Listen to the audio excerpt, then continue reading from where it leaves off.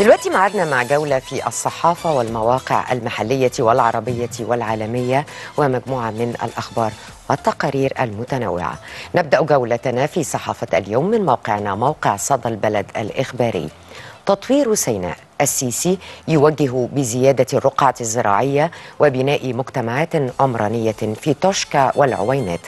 اجتمع الرئيس عبد الفتاح السيسي أمس مع الدكتور مصطفى مدبولي رئيس مجلس الوزراء وعدد من المسؤولين.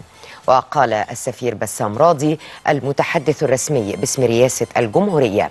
إن الاجتماع تناول متابعة الموقف التنفيذي لمشروعات تنمية محافظة شمال سيناء ومنطقة جنوب الوادي بشرق العوينات وتوشكا. واطلع الرئيس على جهود جهات الدولة المختلفة لتهيئة البنية الأساسية للتنمية في تلك المناطق خاصة فيما يتعلق بالطاقة الكهربائية والموارد المائية والزراعة.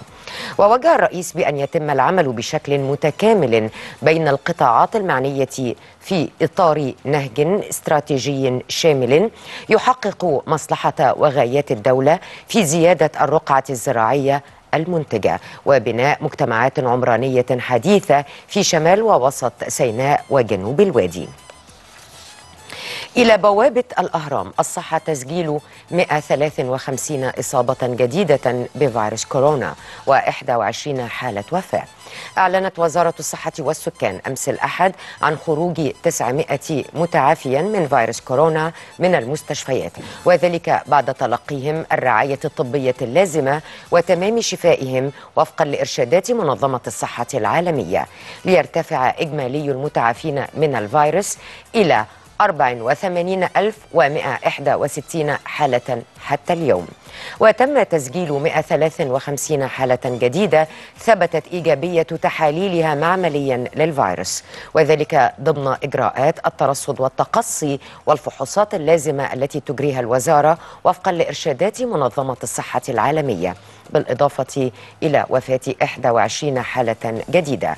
وبلغ إجمالي العدد الذي تم تسجيله في مصر بفيروس كورونا المستجد حتى أمس الأحد هو 101 ألف وتسع حالات من ضمنهم 84161 حالة تم شفاؤها و5648 حالة وفاة.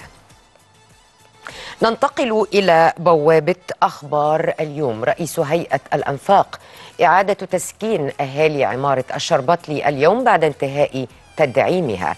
كشف الدكتور عصام والي رئيس الهيئة القومية للأنفاق عن إعادة تسكين أهالي عمارة الشربطلي بالزمالك في شققهم اليوم الاثنين بعد انتهاء أعمال الإصلاحات بشكل كامل. وقال والي في تصريح خاص لبوابة أخبار اليوم إن وزير النقل الفريق مهندس كامل الوزير سيشهد بنفسه تسكين أهالي عمارة الشربطلي كما يتابع تنفيذ أعمال إنشاءات محطة صفاء حجازي بالزمالك. وأشار رئيس هيئة الأنفاق إلى أن العمارة شهدت أعمال تدعيم بتشييد عمود في المنطقة المتضررة وتم بالفعل الاطمئنان على السلامة الإنشائية للعمارة بشكل تام. متابعا هيئة الأنفاق اشترت شقة في عمارة الشربطلي لطمأنة السكان بالسلامة الإنشائية للعمارة. وعن تضرر شقة الفنانة نجاة الصغيرة من أعمال الحفار التي تسببت في خلل بعمارة الشربطلي قال والي عفواً الفنانة القديرة نجاة على رأسنا وتم بالفعل انتهاء تدعيم شقتها وجميع الشقق المتضررة بالكامل والتأكد من السلامة الإنشائية للعمارة.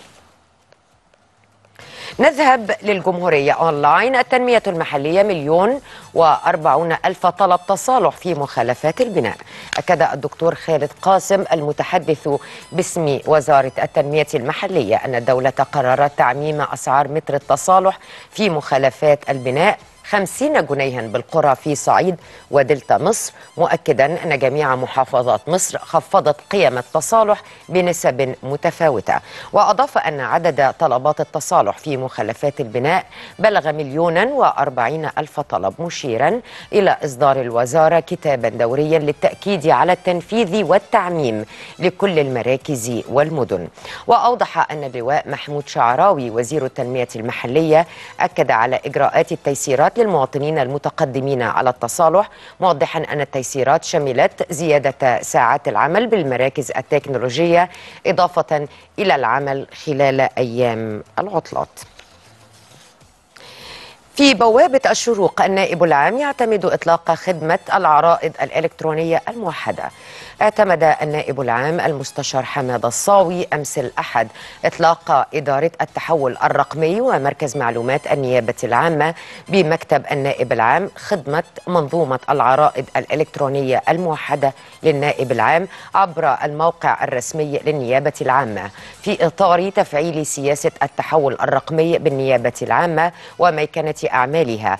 عوضا عن الشكاوى التي كانت تتلقاها عبر موقع Google Form منذ بدء العام القضائي الحالي وتطويرا لآلياتها. وذكر بيان لمكتب النائب العام أن تلك الخدمة تتيح لذوي الشأن أو وكلائهم داخل جمهورية مصر العربية وخارجها إلكترونيا عن بعد تقديم عرائضهم وشكواهم وبلاغاتهم وما يرفق بها من صور مستندات أو روابط إلكترونية.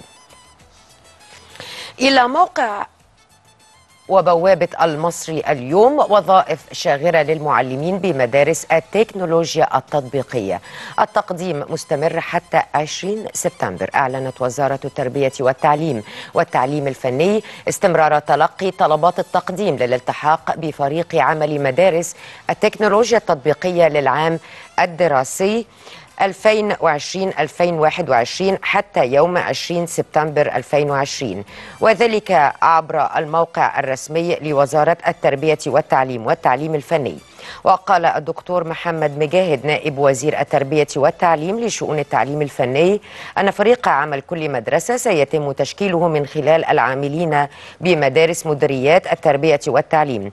وسيتاح التقديم لوظائف معلمي المواد الثقافية من معلمي التعليم العام والفني من العاملين بمدارس مديريات التربية والتعليم. أما فيما يتعلق بالوظائف المتخصصة الفنية فستتاح لمعلمي التعليم الفني فقط. وأكد مجاهد أنه سيتم مراعاة الدقة في اختيار فريق عمل كل مدرسة وذلك عن طريق عقد مقابلات شخصية مع المتقدمين خلال شهري سبتمبر وأكتوبر. من اليوم السابع وزير الأوقاف يعتمد 48 مليون و953 ألف جنيه لعمارة المساجد. اعتمد الدكتور محمد مختار جمعة وزير الأوقاف مبلغ 48 مليون و953 ألف و200 جنيه من موازنة الوزارة لعام 2020-2021 كدفعة أولى لعمارة بيوت الله في الربع الأول من العام المالي الحالي. أكد جمعة أن ما تم إنجازه في عمارة المساجد خلال ست سنوات بناء جديدا أو إحلالا وتجديدا أو فرشا أو صيانة غير مسبوق في تاريخ مصر. وأن رد الوزارة على أهل الشر وجماعات الفتنة والضلال التي تعمل على قلب الحقائق إفكا وزورا وبهتانا دائما يأتي بالأفعال والأدلة والبراهين فالأرقام لا تكذب ولا تتجمل. ويكفي أن نعلم أن ما أنشئ إنشاء جديدا في ست سنوات تجاوز 1200 مسجد وأن ما تم إحلاله وتجديده وصيانته تجاوز 3600 مسجد. إلى الوطن الخارجية مصر تدعم تحالف دعم الشرعية باليمن في تعامله مع الحوثيين. أعربت جمهورية مصر العربية في بيان صادر عن وزارة الخارجية أمس الثالث عشر من سبتمبر الجاري عن دعمها الكامل لكل ما يتخذه تحالف دعم الشرعية في اليمن من إجراءات للتعامل مع ممارسات ميليشيا الحوثيين والتي تؤدي إلى تأجيج الأوضاع في اليمن. وفي هذا الإطار تؤكد مصر أيضا على اصطفافها بجانب المملكة العربية السعودية في مساعيها المخلصة لدفع مسيرة الحل السياسي في اليمن وإنفاذ وقف إطلاق النار بين قوات الحكومة الشرعية وقوات ميليشيا أنصار الله. ننتقل إلى الشأن العربي والدولي ومن جريدة الشرق الأوسط السعودية ترفع كامل قيود المغادرة والعودة للمواطنين مطلع 2021 أعلنت وزارة الداخلية السعودية أمس الأحد السماح بفتح المنافذ لعبور جميع وسائل النقل عبر المنافذ البرية والبحرية والجوية بعد تاريخ الأول من يناير 2021 وفق الإجراءات المتبعة قبل جائحة كورونا المستجد أوضح مصدر مسؤول في الوزارة أنه صدرت الموافقة على أن يكون الرفع الكامل للقيود على مغادرة المواطنين للمملكة والعودة إليها. والسماح بفتح المنافذ لعبور جميع وسائل النقل عبر المنافذ البرية والبحرية والجوية بعد الأول من يناير 2021 وفق الإجراءات المتبعة قبل جائحة كورونا. ويتم الإعلان عن الموعد المحدد لرفع التعليق والسماح المشار إليهما قبل 30 يوما من التاريخ المحدد.